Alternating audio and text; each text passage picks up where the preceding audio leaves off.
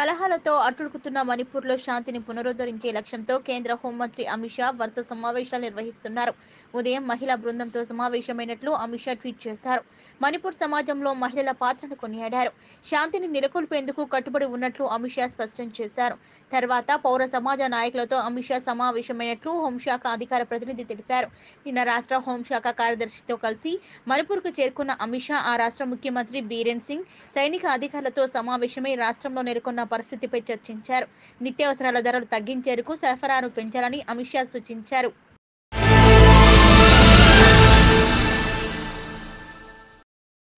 April నెలలో రాష్ట్రానికి కేంద్రం నుంచి ఒక రూపాయి గ్రాంట్ కూడా రాలేదు. కంప్ట్రోలర్ అండ్ ఆడిటర్ జనరల్కు రాష్ట్ర ప్రభుత్వం ఇచ్చిన వివరాలు ఈ అంశాన్ని స్పష్టం చేశాయి. రెండు వేల ఇరవై మూడు ఇరవై నాలుగు ఆర్థిక సంవత్సరం మొదటి నెలలో రాష్ట్ర ప్రభుత్వానికి పదివేల యాభై ఆరు కోట్ల రూపాయల రాబడులు వచ్చాయి. అందులో పన్ను ఆదాయం తొమ్మిది వేల ఆరు వందల తొంభై ఎనిమిది కోట్లు కాగా పన్నేతర ఆదాయం మూడు వందల యాభై ఏడు కోట్లుగా ఉంది. జీఎస్టీ ద్వారా నాలుగు వేల ఎనభై ఒక కోట్లు స్టాంపులు రిజిస్ట్రేషన్ల ద్వారా తొమ్మిది వందల తొంభై కోట్లు అమ్మకం పన్ను ద్వారా రెండు వేల మూడు వందల కోట్లు రూపాయలు ఖజానాకు సమకూరాయి. ఎక్సైజ్ పన్నుల ద్వారా తొమ్మిది వందల అరవై తొమ్మిది కోట్లు కేంద్ర పన్నుల్లో రాష్ట్రం వాటాగా ఏడు వందల నలభై ఏడు కోట్లు వచ్చాయి. ఇతర పన్నుల రూపంలో మరో మూడు వందల యాభై ఏడు కోట్ల రూపాయలు సమకూరాయి. కేంద్రం నుంచి ఈ ఆర్థిక సంవత్సరంలో నలభై ఒక్క వేల ఐదు వంద రెండు వందల యాభై తొమ్మిది కోట్ల రూపాయలు గ్రాంట్ల రూపంలో వస్తాయని అంచనా వేయగా మొదటి మాసంలో ఒక్క రూపాయి కూడా రాలేదు. ఏప్రిల్ నెలలో రాష్ట్ర ప్రభుత్వం ఐదు వేల ఇరవై ఆరు కోట్ల రూపాయల రుణాల ద్వారా సమకూర్చుకుంది. ఏప్రిల్ నెలలో ఖజానాకు అన్ని రకాలుగా పదిహేను వేల ఎనభై ఐదు కోట్ల రూపాయలు సమకూరగా సర్కార్ పన్నెండు వేల ఆరు వందల నలభై మూడు కోట్లు ఖర్చు చేసింది. అందులో రెవెన్యూ వ్యయం పదివేల రెండు వందల అరవై ఎనిమిది కోట్లు కాగా మూలధన వ్యయం రెండు వేల మూడు వందల డెబ్బై ఐదు కోట్ల రూపాయలుగా ఉంది. వడ్డీ చెల్లింపుల కోసం వెయ్యి నాలుగు వందల తొంభై మూడు కోట్లు జీతాల కోసం ఆరు వేల రెండు వందల తొంభై ఒక్క కోట్లు పెన్షన్ల కోసం నాలుగు వందల అరవై ఆరు కోట్ల రూపాయలు వ్యయం చేసింది.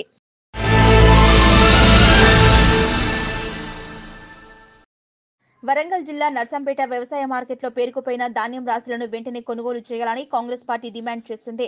ధాన్యం కొనుగోళ్ళలో నెలకొన్న జాప్యాన్ని నిరసిస్తూ మహబూబాబాద్ జిల్లా సిరోలు మండలం కంపెనీలో రైతులు ధర్నాకు దిగారు. ఖమ్మం కురవి రహదారిపై రైతులు ధాన్యం పోసి నిప్పు పెట్టారు. దీంతో రోడ్డుపై వాహనాలు నిలిచిపోయాయి. స్పందించిన అధికారులు ధాన్యం ఎగుమతి చేస్తామని హామీ ఇవ్వడంతో రైతులు ధర్నా విరమించారు. జయశంకర్ భూపాలపల్లి జిల్లాలోని ఎస్ఎం కొత్తపల్లి పిఎస్సిఎస్ ధాన్యం కొనుగోలు కేంద్రాన్ని కాంగ్రెస్ నాయకులు గండ్ర సత్యనారాయణరావు పరిశీలించారు. ధాన్యం కొనుగోలు వేగవంతం చేయకుంటే రైతుల పక్షాన పెద్ద ఎత్తున ఆందోళన చేపడతామని గండ్రా స్పష్టం చేశారు. రైతులు ఒక పక్క అకాల వర్షాలతో రాళ్ళవన పడి ఈదురు గాడుపులు వచ్చి వరి పొలాలన్నీ అడ్డం పడి పెట్టుబడి ఎక్కువై దిగుబడి తక్కువ వచ్చి- వచ్చే పరిస్థితుల్లో వడ్లు కళ్ళల కడబోసి ముప్పై రోజులు ఇరవై రోజులు నలభై రోజులు కూడా కళ్ళల కాడ ఉన్న బార్దానివ్వక. బార్దానిస్తే కాంట కాక. కాంటాలైతే వడ్లు లిఫ్ట్ కాక లిఫ్ట్ అయితే ఆ యొక్క రైస్ మిల్లులో సంచికి రెండు కిలోలు మూడు కిలోలు. ఇట్లా కింటన్కు ఆరేడు కిలోలు కట్ చేసేటువంటి దౌర్భాగ్య పరిస్థితి భూపాలపల్లి నియోజకవర్గంలో కనబడతా ఉంది. ఏ వడ్ల కొనుగోలు కేంద్రం దగ్గర పోయినా ఇదే పరిస్థితి. ఈరోజు రోహిణి కార్త వచ్చింది వర్షాలు వచ్చి వడ్ల వై- వడ్ల మరి తడిస్తే మా పరిస్థితి ఏందని చెప్పి రైతు దిగులు చెందే పరిస్థితిలో ఉన్నాడు. బాధతో దుఃఖంతో ఉన్నాడు. ఈరోజు ఈ యొక్క రాష్ట్ర ప్రభుత్వం ఈ జిల్లా యంత్రాంగం కనీసం రైతులకు పరదాలు ఇచ్చే పరిస్థితి లేదు. వాళ్ళు కిరాయి తెచ్చుకున్నటువంటి పరదాలలో సాయంత్రం కుప్పజేయడం పొద్దున్న దాకా మళ్ళా నేర్పడం ఇదే పరిస్థితి రైతులకు ఈ నియోజకవర్గ పరిధిలోని ప్రతి వడ్ల కొనుగోలు కేంద్రం దగ్గర కనబడతా ఉన్నది. ఈరోజు శాంపేట మండలం కానీ అదేవిధంగా భూపాలపల్లి చిట్యాల మరి అదేవిధంగా టేక్మట్ల మొగుళ్ళపల్లి రేగొండ గణపురం మండలాల్లో ప్రతి వడ్ల కొనుగోలు కేంద్రం దగ్గర ఇదే పరిస్థితి దౌర్భాగ్య పరిస్థితి ఉంది. కనుక ఇది జిల్లా యంత్రాంగం. ఈ ప్రభుత్వం పూర్తి బాధ్యత వహించాలి. ఈరోజు వడ్లను వెంటనే కాంటాలు బారదానిచ్చి కాంటాలు పెట్టి ఒక గింజ కటింగ్ లేకుండా రైస్ మిల్లర్ దగ్గర దిగుమతి చేసుకొని ఈ వెంటనే అకౌంట్లో వేసే విధంగా ఈ జిల్లా కలెక్టరు ఈ ప్రభుత్వము బాధ్యత తీసుకోవాలని కాంగ్రెస్ పార్టీ డిమాండ్ చేస్తుంది.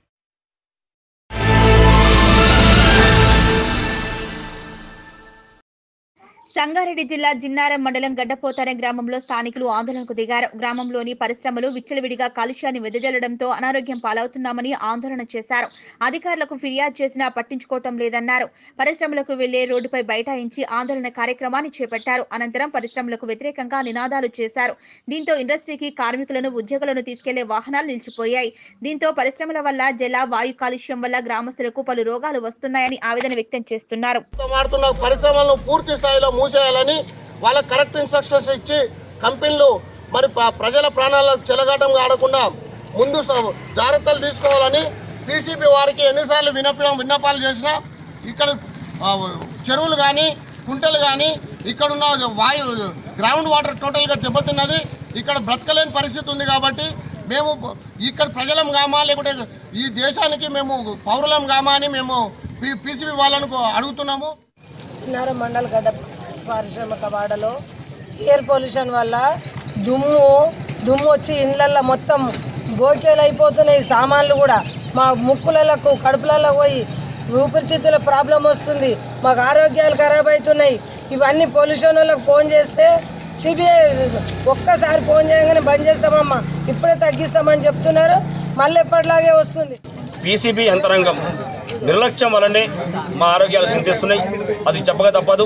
ఎందుకని అంటున్నంటే పీసీబీ యంత్రాంగం మేము పత ఇండస్ట్రీలో మాకు వాయు కాలుష్యము ఎయిర్ కాలుష్యం వస్తుంది. దీనివల్ల మేము నష్టపోతున్నాం. దీన్ని పరిష్కరించమని చెప్పేసి పీసీ వాళ్ళకి ఎన్నిసార్లు విన్నవించినా ఎన్నిసార్లు మేము వెళ్ళి కంప్లైంట్ ఇచ్చినా కూడా ఈ రోజు వరకు నిర్ధారించలేరు. అంటే నిర్ధారించకపోవడం కారణం ఏదో కూడా చెప్పగలుగుతాం మేమే చెప్తున్నాం అది కూడా. యువకులు కానీ తీవ్రంగా నష్టపోయారు కాబట్టి వీళ్ళకి ఉద్యోగాలు కల్పించి ఈ నిరుద్యోగ సమస్యను పరిష్కరించే బాధ్యత యాజమాన్యాలు తీసుకోవాలి. ఇక్కడ ఒక కాలుష్య నియంత్రణ మండలి ఒక కామన్ ఎఫ్లూయెంట్ ప్లాంట్ ఇక్కడనే నిర్మించి నుంచి వచ్చిన కాలుష్యాన్ని మొత్తం ట్రీట్మెంట్ చేసుకునే విధంగా ప్లాంట్ నిర్మించాలని కోరుతున్నాము. మరియు ఇక్కడ ఈ ప్ర- ప్రజలందరికీ కూడా ఆరోగ్య పరంగా ఒక ఆసుపత్రి భవనాన్ని నిర్మించి ఒక ఎంబీబీఎస్ డాక్టర్ను ఏర్పాటు చేసి ఇక్కడ ప్రజలు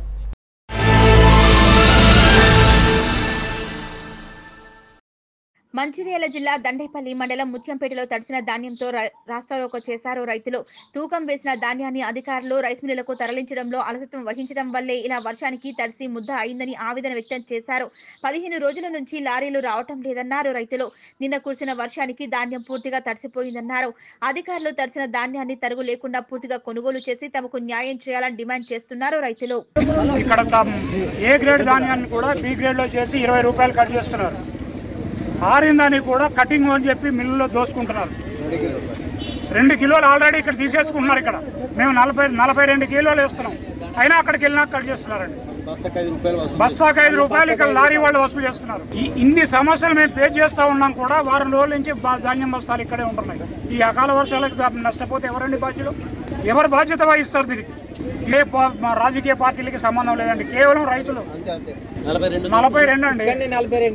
వారకాలం కష్టపడి ప్రభుత్వాన్ని నమ్ముకొని వరి ధాన్యాన్ని ఎఫ్సిఐలకు డీసీఎంలకు రైతు కష్టపడి జోకితే ప్రతి బస్తాకు నలభై కిలో బస్తాలకు రెండు కిలోలు ఎక్కువగా జోకించుకొని క్వింటాల్కి ఐదు కిలోలు కటింగ్ పెడుతూ మళ్ళీ మిల్లర్ దగ్గరికి చేరినాక మిల్లర్లు బస్ క్వింటాల్కి మూడు కిలోలు చొప్పున కటింగ్ పెడుతూ ఒక్కొక్క బస్తా లిఫ్ట్ చేయడానికి ఐదు రూపాయలు ఐదు రూపాయలు లారీ వాడు తీసుకుంటూ రైతును ఈ విధంగా అరగోస పెట్టి ఈ రోజు తడిసిన బస్తాలు పోతే మాకు అక్కడ మిల్లర్ దించుకోమంటారు.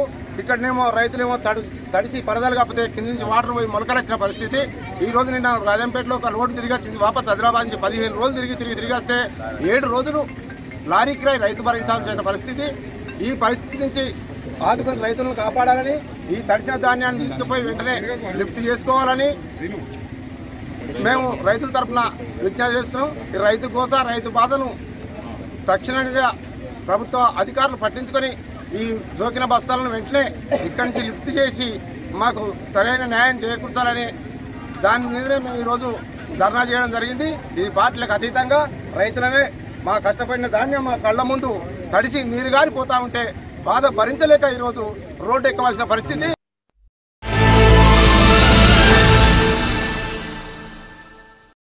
రానున్న వర్షాకాలాన్ని దృష్టిలో పెట్టుకుని హైదరాబాద్ నాలా పనులను త్వరితగతిన పూర్తి చేయాలని ఇంజనీరింగ్ అధికారులను జీహెచ్ఎంసీ మేయర్ విజయలక్ష్మి ఆదేశించారు. ఈ మేరకు బేగంపేట బ్రాహ్మణవాడలో జరుగుతున్న నాలా పనులను ఎమ్మెల్సీ సురభి వాణిదేవితో కలిసి పరిశీలించారు. బేగంపేట డివిజన్లో వర్షాకాలంలో కుక్కట్పల్లి నాలాను ఆనుకుని ఉన్న బ్రాహ్మణవాడ మయూర్ మార్గు ప్రకాష్ నగర్ అల్లం తోట బావి వడ్డెర బస్తీ ముంపునకు గురవుతున్నాయన్న విజయలక్ష్మి ముంపు నివారణకి నలభై ఐదు కోట్లతో ఎన్ఎస్డిపి కింద పనులు చేపడుతున్నామని వివరించారు. ఇది టోటలీ లో లయింగ్ ఏరియా ఇది అయితే ఎస్ఎన్డిపి వర్క్స్ కూడా చాలా ఫాస్ట్గానే జరుగుతున్నాయి. థర్టీ నైన్ క్రోర్స్ పెట్టి ఈరోజు రోజు ఇక్కడ బ్రహ్మన్వాడి నుంచి ఆ గీతాంజలి స్కూల్ వరకు కూడా ఈ వర్క్స్ జరుగుతూ ఉన్నాయి. హోప్ఫుల్లీ ఈ మాన్సూన్స్ లోపల వాళ్ళకి ప్రాబ్లం రాకుండా ఉండాలనేసి వాళ్ళన్నీ కూడా ప్రయత్నం చేస్తున్నారు. బై జూన్ ఫిఫ్టీన్త్ కల్లా ఈ వర్క్స్ అన్నీ కూడా కంప్లీట్ అవుతున్నాయి. అండ్ వాళ్ళు ఒక ఇక్కడ ఏదైతే సివేజ్ లైన్ అడిగారో ఇక్కడ పక్కన కూడా వాళ్ళకి కొన్ని ప్రాబ్లమ్స్ ఉన్నాయి. పార్కింగ్ ప్రాబ్లమ్స్ అవన్నీ కూడా వాణిదేవి గారు చెప్పారు.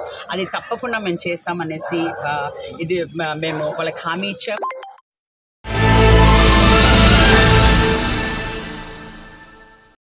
నిర్మల్ జిల్లా ఖానాపూర్లో కొనుగోలు కేంద్రంలో నిన్న కురిసిన అకాల వర్షానికి ధాన్యం తడిసి పూర్తిగా ముద్దయింది. ప్రభుత్వం ధాన్యం కొనుగోలులో అలసత్వం వహించడం వల్ల ఇలా జరిగిందంటూ ఆందోళన వ్యక్తం చేశారు రైతులు. ప్రభుత్వానికి వ్యతిరేకంగా రైతులు రోడ్డుపై బైఠాయించి ధర్నా వ్యక్తం చేశారు. వడ్ల సంచులతో రాస్తారోకో నిర్వహించారు. దీంతో ట్రాఫిక్ నిలిచిపోయింది.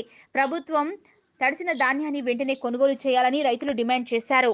కష్టపడుతూ మార్కెట్ తరలిస్తే ఇంతవరకు ఉన్న దాఖలు లేవు. ప్రజలందరూ గుమిగూడి రైతులందరూ ఆర్థిక ఇబ్బందులు నష్టపడుతున్న సమయంలో అందరూ రోడ్డు మీదకి వచ్చినప్పుడు మాత్రం ఒక్కరోజు రెండు రోజులు కొనుగోలు చేసి మళ్ళీ యథార్థంగా అదే విధంగా పక్క వదిలిపెడుతున్నారు. అంటే రైతులు అంటే ఇంత చులకన అడుగుతున్నాం. ఇప్పటికైనా చిత్తశుద్ధితోని వెంటనే వరధాన్యం ఉందో వెంటనే కొనుగోలు చేయాలి. రైతులకు ఎలాంటి దుకాంలో ఎలాంటి నష్టపరం నష్టం కలంచకుండా చూడమని చెప్పని కోరుతున్నాం. అదేవిధంగా అమాలి కొరత చాలా ఉంది. అమాలి కొరత ఎందుకు కొరత కొరత ఉందంటే ఇక్కడ ఉన్న రై ఇక్కడ ఉన్న అమాలిని తీసుకుంటే దాంట్లో కత్త కొట్టరాదు వీళ్ళ అధికారులకు. దాదాపు గతంలో జరిగినటువంటి ముప్పై ఐదు రూపాయలు ముప్పై నాలుగు రూపాయలు కట్ చేస్తూ వాళ్ళకి ఇరవై నుంచి ఇరవై రెండు రూపాయలు మధ్య ఇవ్వడం జరిగింది. అందుకు ఇక్కడ ఉన్న అమలు తీసుకుంటే బయటపడదని ఒరిస్సా బీహార్ పక్క రాష్ట్రంలో తీసుకొచ్చే సంగతి జరుగుతున్నాయి. ఇప్పుడు వాళ్ళు ఇప్పుడు ఇప్పుడు ఏమైందంటే ఈ బయ- బయటపడతాయి కాబట్టి ఇప్పుడు తీసుకుంటే వీళ్ళకు బయటపడతాను ఉద్దేశంతో పక్క రాష్ట్రాలకు చూస్తుండ్రు. వాళ్ళు రాకపోవడం వల్ల ఈ సమస్య ఏర్పడుతుంది. వెంటనే సమస్య పరిష్కారం చేయాలా? ఏదైతే వరదానాన్ని వెంటనే కొనుగోలు చేయాలా? రైతులకు ఇబ్బంది కలగకుండా చూడమని చెప్పని అందరం అఖిలపక్ష తరఫున రైతుల పక్షాన డిమాండ్ చేస్తున్నాం. లేని పక్షంలో తప్పకుండా ఇదే విధంగా ప్రజల పక్షాన నిలబడి రోడ్డుకు ఇరువైపులా రాష్ట్రంగా చేస్తామని చెప్పని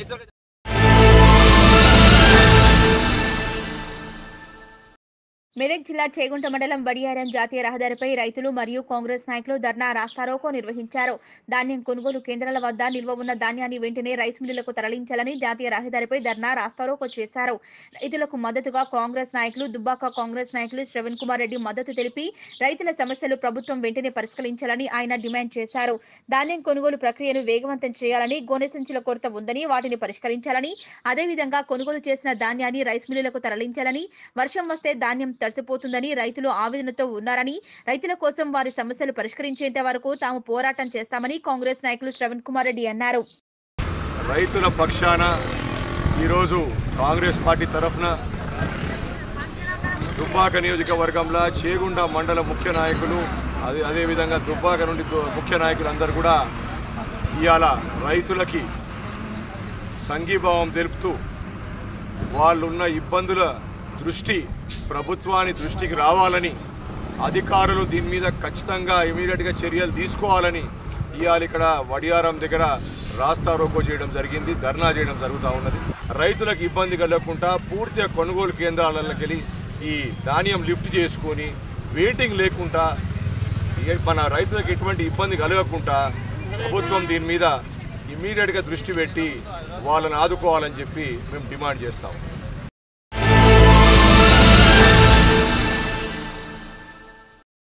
మెదక్ జిల్లా రామేంపేట మండల కేంద్రాన్ని రెవెన్యూ డివిజన్గా ప్రకటించాలని డిమాండ్ చేస్తూ అఖిలపక్షం ఆధ్వర్యంలో నిరసన కార్యక్రమాలు కొనసాగుతున్నాయి. నేడు రెవెన్యూ డివిజన్ ప్రకటించాలని డిమాండ్ చేస్తూ అరవై ఐదవ రోజు అఖిలపక్షం ఆధ్వర్యంలో రిలే నిరాహార దీక్షలు చేస్తున్న ప్రభుత్వం స్పందించకపోవడంపై స్థానిక అఖిలపక్షం నాయకులు ఆగ్రహం వ్యక్తం చేశారు. ఈ కార్యక్రమంలో పోలీస్ దేవేందర్ శంకర్ గౌడ్ శ్రీనివాస్ యాదగిరి వెంకటేష్ అఖిలపక్షం నాయకులు తదితరులు పాల్గొన్నారు. కొన్ని రోజులుగా మళ్ళీ తెలంగాణ ఉద్యమం మన దేశ ఉద్యమం ఎట్లా స్టార్ట్ చేసినామో ఈ రామంపేట డివిజన్ కావాలని తప్పకుండా మలిద మలిదేశ ఉద్యమాన్ని స్టార్ట్ చేసినాము. కాబట్టి ఈరోజు అరవై ఐదో రోజు. ఈ అరవై ఐదో రోజులో జరుగుతుంది కాబట్టి ఈ ఉద్యమానికి చాలామంది అంటే అన్ని ప్రతిపక్షాలు అందరూ సపోర్ట్ చేస్తున్నాయి. తప్పకుండా ఈ న్యాయమైన కోరిక ఏదో ఆ కోరిక నెరవేర్చాలని అందరి ఆకాంక్షను నెరవేర్చాలని నేను డిమాండ్ చేస్తాను డివిజన్ కేంద్రంగా ఏర్పాటు చేయాలని మలిదశ రెవెన్యూ డివిజన్ ఉద్యోగం డెబ్బై రోజులకు దగ్గరికి వస్తూ ఉంది. మేము అఖిలపక్షం ఆధ్వర్యంలో ఒకటే అడుగుతా ఉన్నాము. ఈ యొక్క రామాయంపేట ప్రాంత ప్రజలందరూ కూడా ఆలోచన చేయాలి. ఈరోజు రామాయంపేట ఏ నాయకుల వల్ల వెనుకబడిపోయింది? రాబోయే రోజుల్లో ఈ యొక్క అధికార పార్టీకి ప్రజల తరపున అదేవిధంగా జేఏసీ పక్షాన ఈ యొక్క అధికార పార్టీ నాయకులు తీవ్ర పరిణామాలను ఎదుర్కొంటారని ఈ సందర్భంగా తెలియజేస్తున్నారు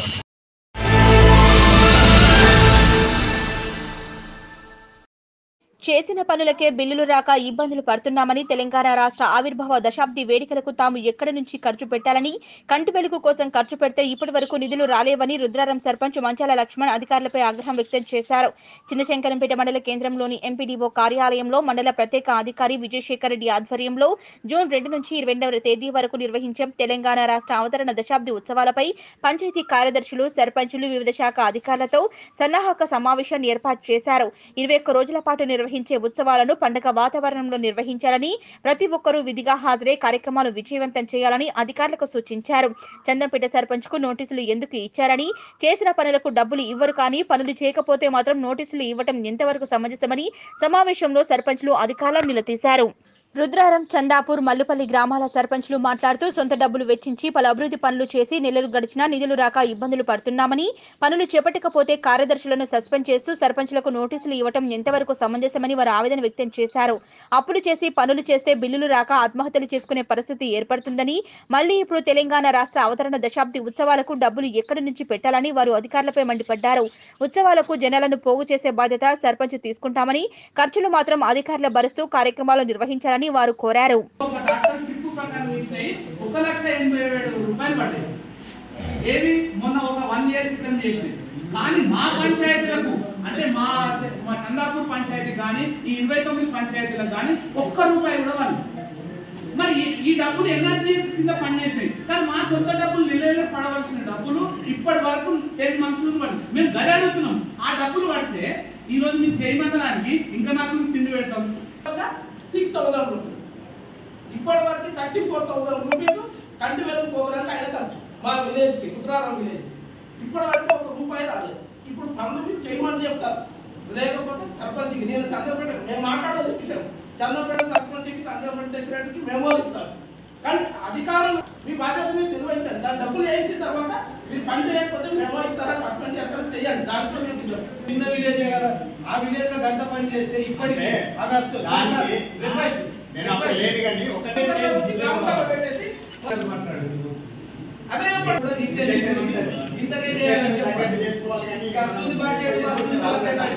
వచ్చేది ఎంత పోయేది ఎంత వచ్చిన కాడికి మేము ట్రాక్టర్లు అవసరం ఉన్న విలేజ్ లకే ట్రాక్టర్లు కొనమన్నారు. జనాభా ఎంతుందో గదానికే కొనమన్నారు. అప్పుడు మాకు ఇంత ఐడియా లేదు. ఈ కార్యక్రమంలో ఎంపీడీఓ ప్రవీణ్ కుమార్ తహసీల్దార్ మహేందర్ గౌడ్ మండల ప్రత్యేకాది విజయశేఖర్ రెడ్డి మండల వ్యవసాయ అధికారి లక్ష్మీ ప్రవీణ్ ఎంపీఓ గిరిధర్ రెడ్డి రైతు సమన్వయ సమితి మండల కన్వీనర్ లక్ష్మారెడ్డి బీఆర్ఎస్ మండల అధ్యక్షులు రాజు విద్యుత్ AE Satish Babu RWS AE Nikhila పశువైద్యాధికారి గీతామాలికతో పాటు వివిధ గ్రామాల సర్పంచ్లు పంచాయతీ కార్యదర్శులు వివిధ శాఖల అధికారులు పాల్గొన్నారు. అక్కడ ఏంటంటే నియోజకవర్గంలో కూడా ఎంతమందికి అయితే ఆసరా పింఛన్లు ఇచ్చారో ఎంతమందికి అయితే కళ్యాణ లక్ష్మి ఆ, అవి ఇచ్చారు షాదీ ముబారక్ దాంట్లో కూడా ఎంతమంది అయితే లబ్ధి పొందారు. అంటే పట్టాలను కూడా పంపిణీ చేయడం జరుగుతుంది. అదే హౌస్ సైడ్స్ అంటే తహసీల్దార్ చూసుకుంటారు. లేకపోతే ఎక్కడైతే ఉందో ఏ మా- ఏ గ్రామాల్లో ఇయ్యాలో కన్సర్న్ అక్కడ వాళ్ళు ఆల్రెడీ పేపర్లు తయారు చేసి అక్కడ ఇస్తారు. వాళ్ళకి అది డిస్ట్రిబ్యూట్ చేయడం జరుగుతుంది. కానీ మన జెడ్పీటీసీ గారు కానీ ఎంపీటీసీలు అలాగే సర్పంచ్లు కానీ దీంట్లో సహకారం చేసి మనం తీసుకెళ్ళడానికి కూడా ట్రాన్స్పోర్టేషన్ సార్ గారు నిన్న చెప్పిండ్రు కలెక్టర్ గారు. ట్రాన్స్పోర్టేషన్ సారే పెడతా అన్నారు. ఆ ఏర్పాట్లు కూడా మేము చేస్తాం కాబట్టి మీరు మండలికు మీరు మన పబ్లిక్ను పంపిస్తే ఆ కార్యక్రమం కూడా మనం సక్సెస్ చేసుకున్న వాళ్ళం అవుతాము.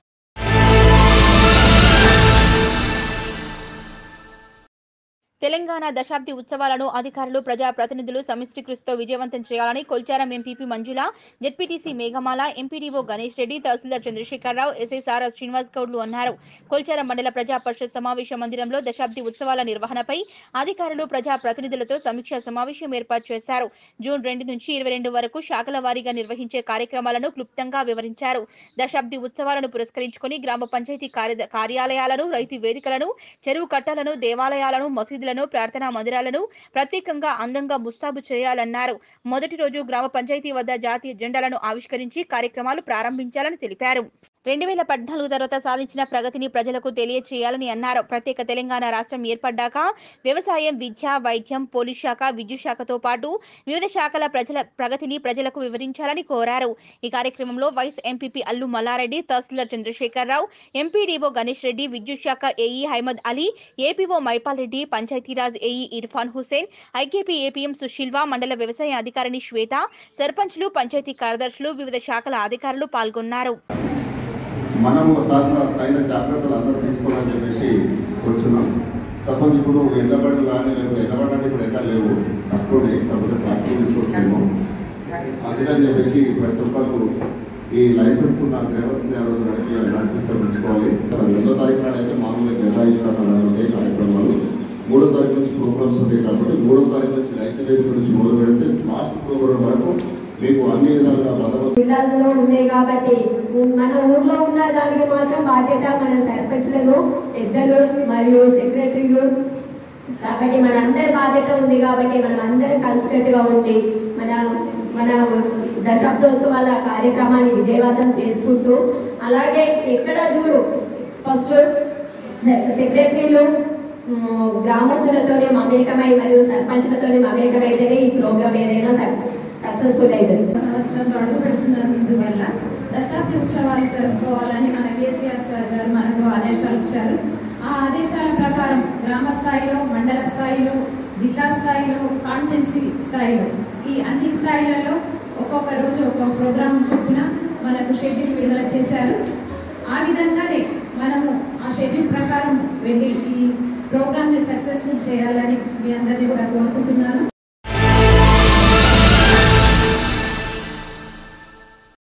ముద్రాజలమంతా ఏకతాటిపై ఉండాలని పార్టీలకు అతీతంగా జూన్ ఐదవ తేదీన మెదక్ జిల్లా కేంద్రంలో ముద్రా సంఘం భవన నిర్మాణ భూమి పూజ కార్యక్రమానికి ముద్రాజులు పెద్ద ఎత్తున తరలి రావాలని ముద్రాజ్ మహాసభ జిల్లా అధ్యక్షులు మానేగల్ల రామకృష్ణయ్య పిలుపునిచ్చారు.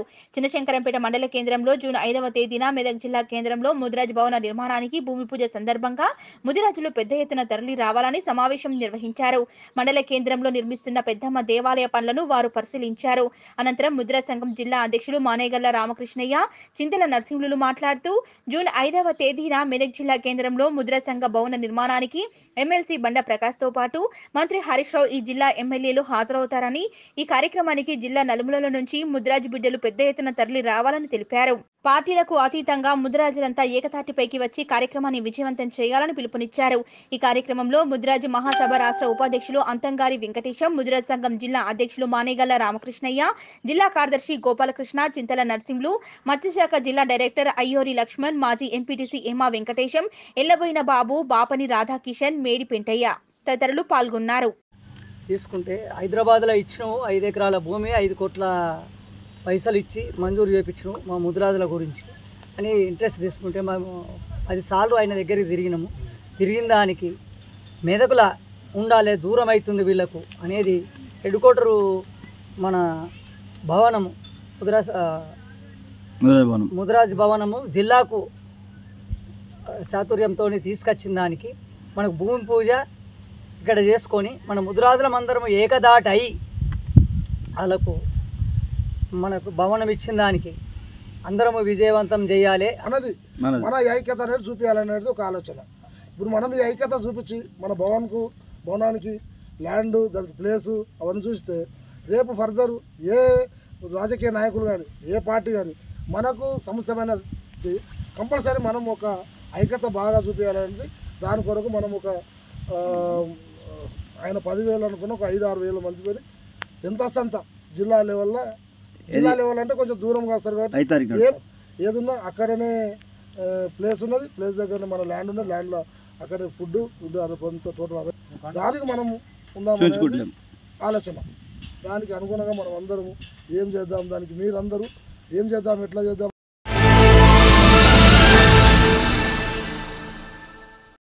మెదక్ జిల్లా రామయ్యంపేట మండల కేంద్రంలోని శ్రీ వెంకటేశ్వర వైన్ షాప్లో శనివారం రాత్రి మెదక్ మండలం షామ్నాపూర్ గ్రామానికి చెందిన బాబియాతో పాటు మరో వ్యక్తి చోరీ కోసం వచ్చారు.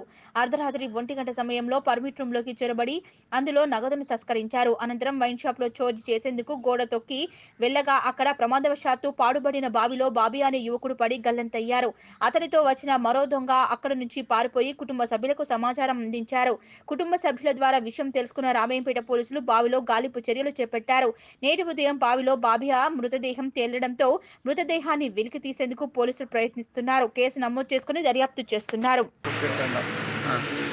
ఆయన ఇట్లానే హైదరాబాద్ పోయిండు బట్ ఆయన వచ్చేసి వాళ్ళ అన్న వాళ్ళిద్దరు నడుపుడు చిన్నోడు ఇద్దరు వచ్చి ఇద్దరు కలిసి వస్తే మళ్ళీ ఆయన పడ్డాడని ఇక్కడ రాత్రి మొన్న రాత్రి పడ్డాడని చెప్పేసి మాకు పొద్దున్న మళ్ళా పగటాలకు రెండు గంటలకు చెప్పిండు ఆయన అలా నడిపి తమ్ముడు వచ్చి అన్న వచ్చేసి. ఇక్కడ దొంగతనం గురించి వచ్చిరంట. లోపల పడ్డాడు అని చెప్పేసి మాకు చెప్తే మేము వచ్చినాం ఇక్కడికి. మేము అవేలి గన్పూర్ వెళ్ళాము అవేలి గన్పూర్ వస్తే పిఎస్కి వెళ్తే అక్కడికి వెళ్ళి ఈ పిఎస్కి వస్తే ఈ పిఎస్ నుంచి మాట్లాడితే ఆ రోజు అందరం చూసాం అవన్నీ ఫోన్లు వేసారు మళ్ళా హెయిర్ వేసారు అయినా ఆ రోజు దొరకలే. నిన్న కూడా సార్ వాళ్ళు ఫోన్ చేసి ఏదో తెలియలేని ఈరోజు చెప్తే వచ్చి. ఇక్కడ దొంగతనం గురించి వచ్చిరంట. లోపల పడ్డాడు అని చెప్పేసి మాకు చెప్తే మేము వచ్చినాం ఇక్కడికి మేము అవేలి గన్పూర్ వెళ్ళాము అవేలి గన్పూర్ వస్తే పిఎస్కి వెళ్తే అక్కడికి వెళ్ళి ఈ పిఎస్కి వస్తే ఈ పిఎస్ నుంచి మాట్లాడితే ఆ రోజు అందరం చూసాం అవన్నీ ఫోన్లు వేసారు మళ్ళా హెయిర్ వేసారు అయినా ఆ రోజు దొరకలే. నిన్న కూడా సార్ వాళ్ళు ఫోన్ చేసి ఏదో తెలియలేని అది ఈరోజు చెప్తే వచ్చి కూడా చేసాం మా మనిషి